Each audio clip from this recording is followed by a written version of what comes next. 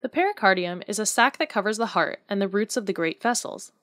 The pericardium has two layers an inner serous layer and an outer fibrous layer, and the space between the two layers is the pericardial cavity. The pericardial cavity is normally filled with about 50 milliliters of serous fluid that cushions the heart from any kind of external jerk or shock, like a shock absorber. The pericardium also fixes the heart to the mediastinum to prevent it from twisting, so that the big vessels don't get pinched shut. Pericardial disease is inflammation of the pericardium due to a variety of causes, from infections to autoimmune disorders, cancer, and trauma. In pericarditis, the pericardium is inflamed and irritated.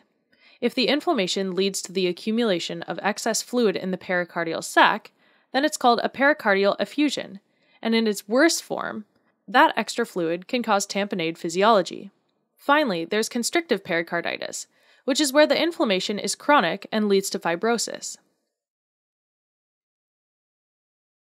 In pericarditis, the two inflamed layers of the pericardium rub against one another every time the heart beats. This causes severe, sharp retrosternal chest pain that radiates to the neck, shoulders, and back, and it typically happens with each breath during inspiration.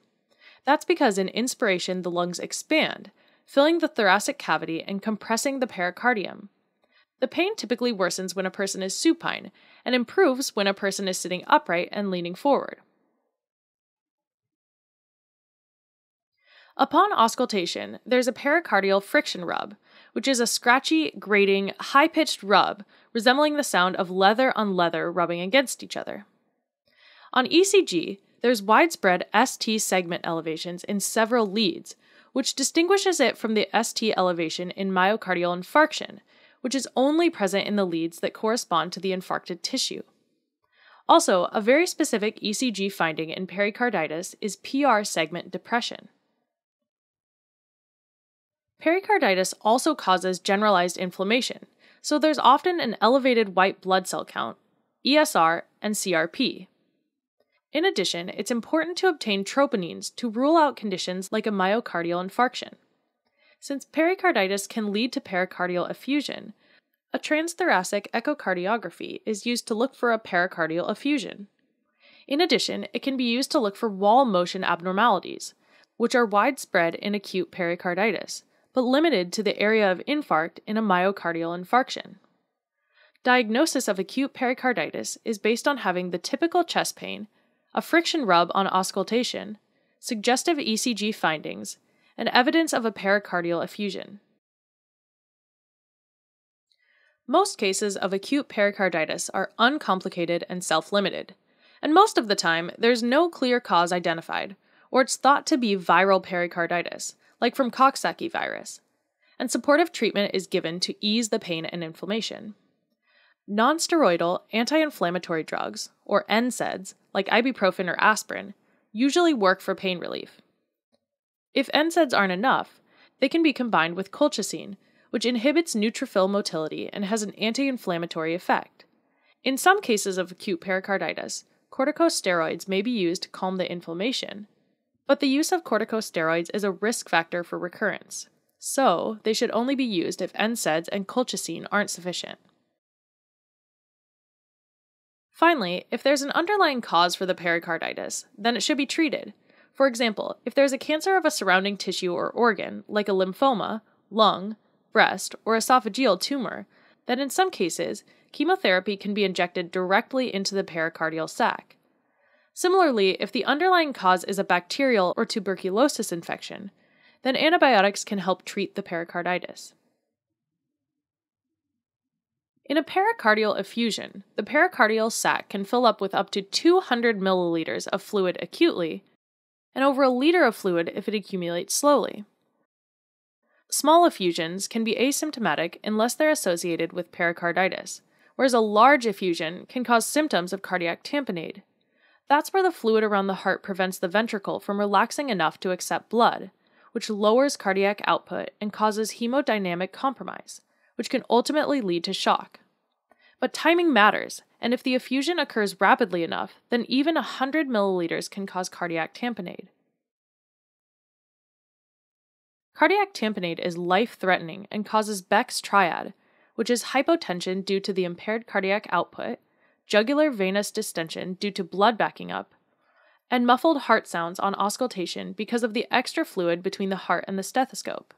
In fact, larger effusions can cause Ewart's sign, which is dullness to percussion over the last subscapular area due to compression of the left lung base.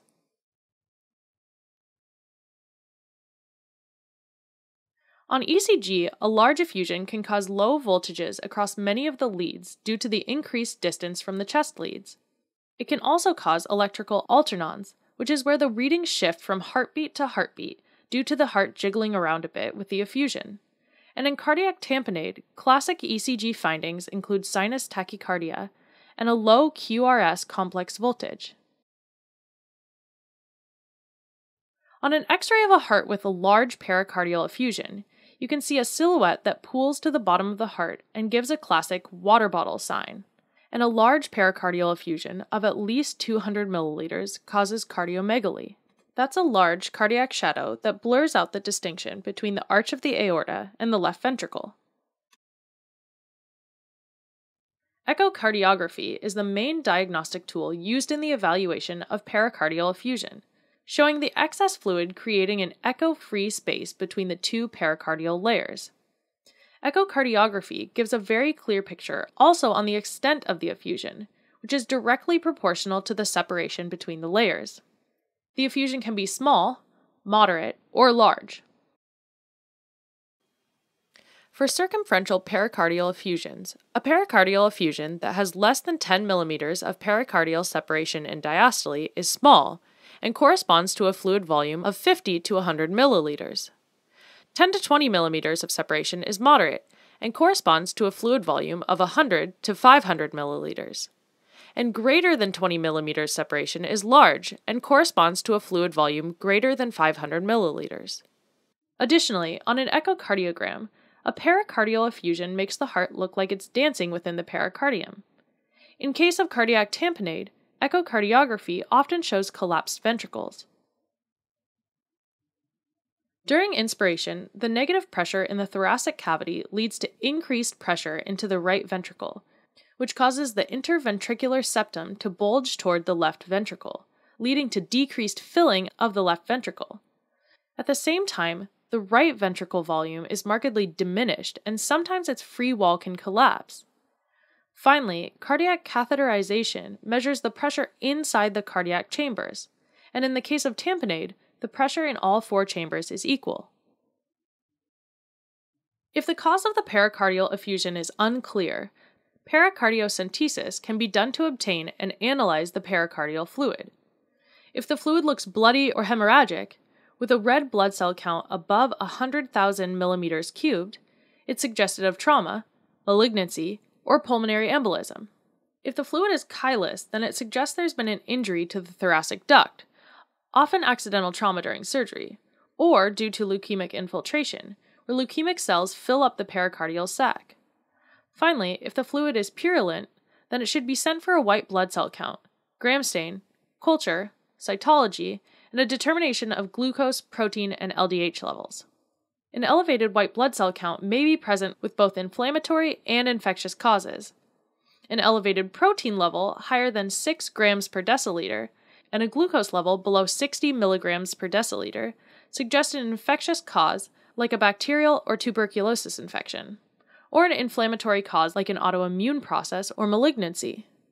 An isolated increased fluid LDH level above 300 units per deciliter with a normal serum LDH level suggests a malignancy. In terms of treatment, some pericardial effusions are small and naturally get resorbed by themselves over time. Pericardial effusions that are larger than 20 millimeters and persist for more than a month may be drained.